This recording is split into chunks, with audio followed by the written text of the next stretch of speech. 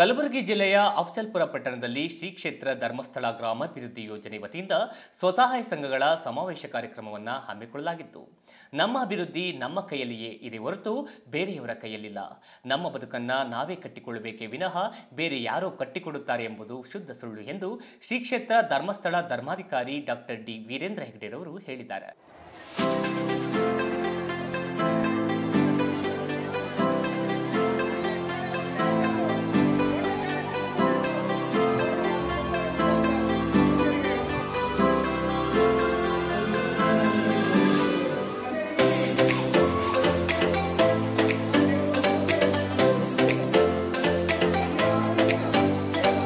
ಕಲಬುರಗಿ ಜಿಲ್ಲೆಯ ಅಫ್ಸಲ್ಪುರ ಪಟ್ಟಣದ ಶೆಟ್ಟಿ ಫಂಕ್ಷನ್ ಹಾಲ್ನಲ್ಲಿ ಶ್ರೀ ಕ್ಷೇತ್ರ ಧರ್ಮಸ್ಥಳ ಗ್ರಾಮಾಭಿವೃದ್ಧಿ ಯೋಜನೆ ವತಿಯಿಂದ ಸ್ವಸಹಾಯ ಸಂಘಗಳ ಸಮಾವೇಶ ಹಾಗೂ ಸಮುದಾಯ ಸೌಲಭ್ಯ ವಿತರಣಾ ಕಾರ್ಯಕ್ರಮವನ್ನು ಉದ್ಘಾಟಿಸಿ ಮಾತನಾಡಿದ ಅಫ್ಸಲ್ಪುರ ಶಾಸಕ ಎಂ ವೈ ಪಾಟೀಲ್ ರವರು ದೇವರು ಸ್ವತಃ ಬಂದು ಯಾರಿಗೂ ಸಹಾಯ ಮಾಡಲು ಸಾಧ್ಯವಿಲ್ಲ.